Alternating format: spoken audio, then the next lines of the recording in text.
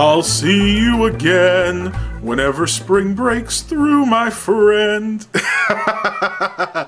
Good afternoon, tubers. Madame Roy back again. Back to you with another vlog video. Let's see what we got date-wise today. Today is the 27th of January 2017.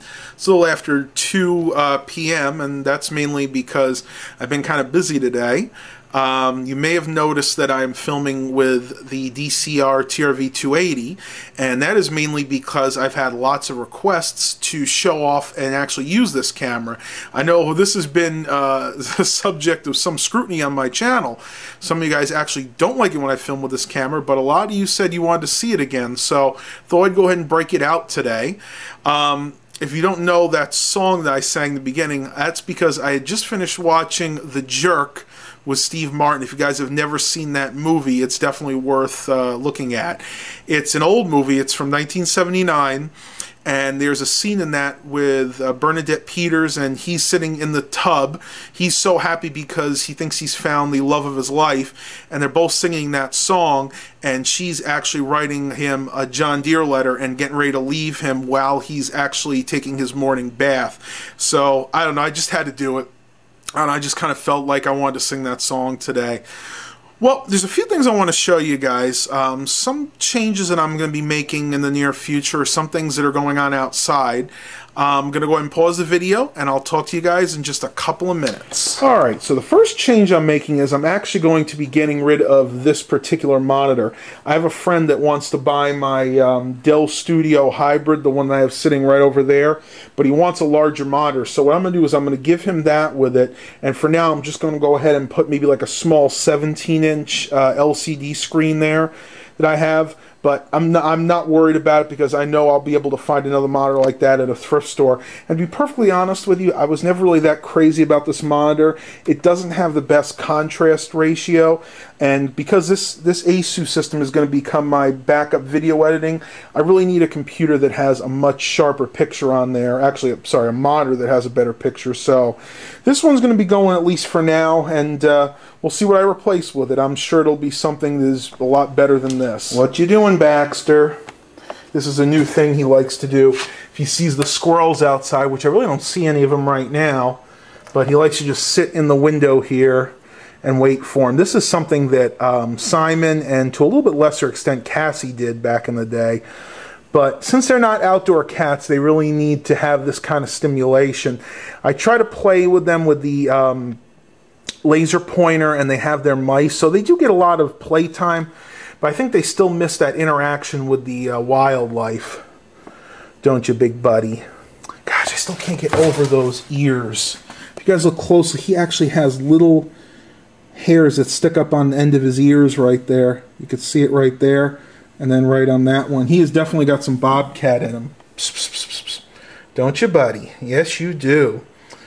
Yeah, he's get he's little by little getting better with the camera. This is a pretty big camcorder, so I'm actually surprised this isn't freaking him out. We'll go ahead and let you be. I'm gonna let you look at the, your wildlife. I know you need to do that. Oh, oh, what's that? What, what? He's actually interested. What is it? Oh, oh, oh he's playing with the lens cap. he wants to play with the lens cap. Go play with the lens cap. Look, Baxter. Look, look, look.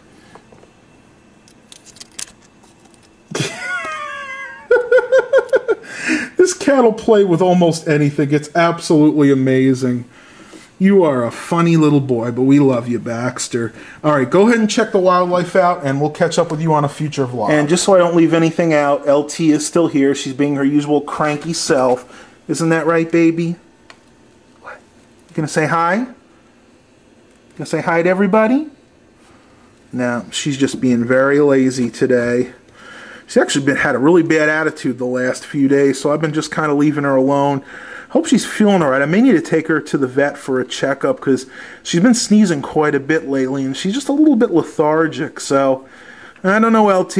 A vet trip might be in your future for sure. Well, going outside today, it is a drastic difference from yesterday when it was 65, 70 degrees and sunny.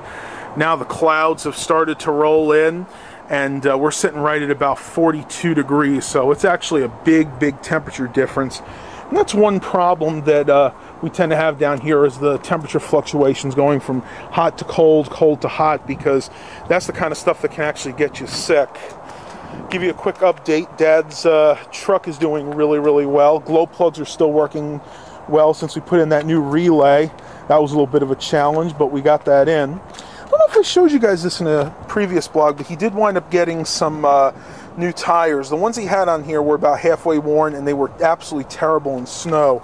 These are some uh, Cooper, see what are these?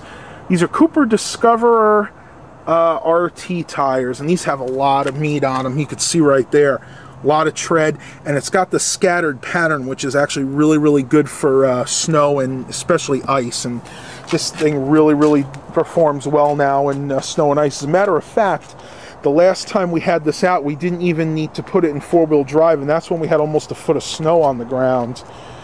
But um, truck's still doing well. Um, last year we had to do a little bit of body work to it. Um, you can see right here, probably gonna have to touch this up again because there's a little bit of rust forming again, but this was just kind of preliminary. Eventually we want to have it, probably going to take it someplace like Maaco and have them redo at least the fenders panels here. Um, but this is basically just um, fiberglass with like Bondo inside. Like I said, it was just a temporary fix until we can actually get uh, get this done properly. Well, I can see my buddies here, so I'm going to pause the vlog for a minute, and I will talk to you guys a little later. All right, tubers. So I just finished up with my buddy Ron, and uh, he gave me a laptop that he wants me to work on. He said it's a friend of his. It's one of these. Uh, Dell, let's see what model this is, the 1545s. These are really cool because they actually had interchangeable lids. You could actually put almost any color lid on here. I know they had purple, pink, black, and I think they even had like a aquamarine blue one. But that's not really what I want to talk about in this segment. Uh, something really cool uh, happened to me a couple of days ago. Um, I was actually uh, online, and I think it was, yeah, it was basically an old YouTube video that somebody had uploaded, but it was originally a like a um, art project for a college that a student did, and it was, uh, I believe, it was entitled "Fishkill Flea." Um, basically, what it was it was about the former Dutchess Mall, which used to be in. Um, I don't think it was actually. Yeah, it was. It was actually in Fishkill, New York which was very close to where I used to live. I used to live in a little town called uh, Carmel, New York, which is maybe about 20 minutes away. And uh, this whole doc, it was basically a documentary, and it was about how the mall had been turned into a flea market and how, you know, it had been fairly successful. And I've come to find out that this flea market is still going on in the mall, though it's actually moved to the uh, former Jamesway location, whereas when this was filmed, it was in the former Service Merchandise location. And it just really brought back some very very fond memories from my childhood. And i know a lot of you uh, that watch my channel that uh, live up in new york probably remember this mall uh, as well. Um, just a little backstory on it. The mall opened back around 1972 um, and it was always a small mall. I mean, this this thing was really tiny. I, I don't think it had any more than about 70 stores. It literally had one main corridor, um, it had two like little hallways at the end, it, at each end of the anchor stores, and then it had just a little inlet in the middle where you go into the the center court where it had like a little fountain. It wasn't even really a food court in the mall. That little center entrance, there were some restaurants. I remember there was a, a pizza place on the right, Chinese food place on the left. Um, we used to go to a dollar store in there all the time. And that's actually how I started uh, learning about dollar stores. The very first one I ever went to uh, was in that mall back in the day. And we're talking about mid, maybe mid to late 90s. So probably 95 to like 98, 99 and I just I had to share this with you guys because it really moved me when I saw this. I was actually seeing pictures of the mall. Now, unfortunately, about five years ago, they actually tore down the center of the mall, just leaving the uh, the old service merchandise and the old Jamesway location, and in the middle, they've actually put in a Home Depot now. But the Jamesway anchor store is actually um, still the flea market. As a matter of fact, I kid you not, I've been there before, and that's actually where I got this camcorder that I'm filming with now was at that particular flea market. Um, and the really cool thing about that, I'll never forget when I went in there, is they actually still have all of the Jamesway signs up inside, like the banners inside say Jamesway.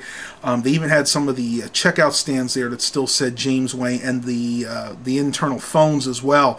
And that store closed 20 years ago, and I, it was just amazing. I absolutely could not uh, could not believe that they still had that stuff. So, hey, you know what? I got a great idea. If you guys have fond memories of a mall or a shopping center that has uh, since closed, maybe something from your childhood, go ahead and post it down in the uh, comments section. I really love to hear it because I'm really getting into learning about malls and the struggles that they're actually having to stay afloat now. And unfortunately, in this country, it's really, really sad. You really don't see, uh, you haven't seen any malls. There has not been, I bet you guys, a lot of guys don't know this, there has not been a new mall that's opened since 2005 and actually since then quite a few of them closed. I'm thinking of things like rolling acres um, i can't think of the name of the other one now but rolling acres is the real big one. Rolling acres was a uh, mall in ohio that was very popular and kind of died out all of a sudden. So go ahead and stick that in the comments and um, we'll see what kind of uh,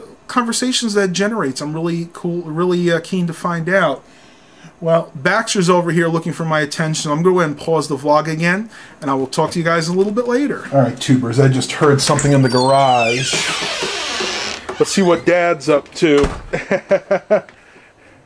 hey, you want to show them what you're up to? I heard the horn. Go ahead and push it again. Let's see what you got. Oh, I'll show the switch. Hold on one second. okay. There you go. Dad finally fixed the Ahooga horn in the 46 Plymouth. Yeah, the other. Go ahead, you can tell him. I'll tell you what there. this heavy duty switch is supposed to hold 40 amps, which is more than enough to blow the horn.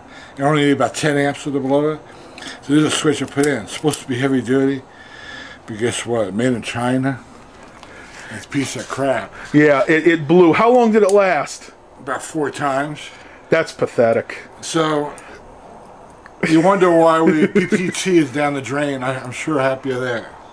Because the less we have of China, the better it is.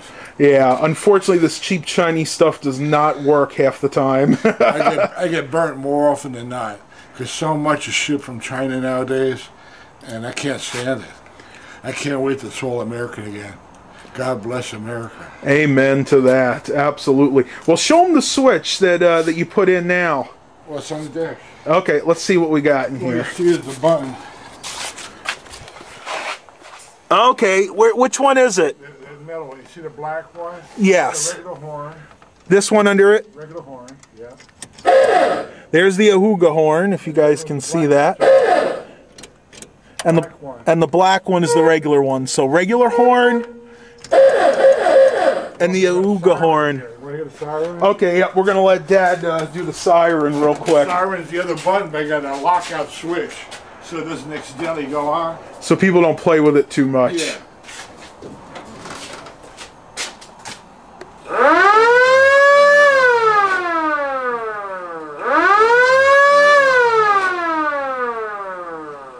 That is cool.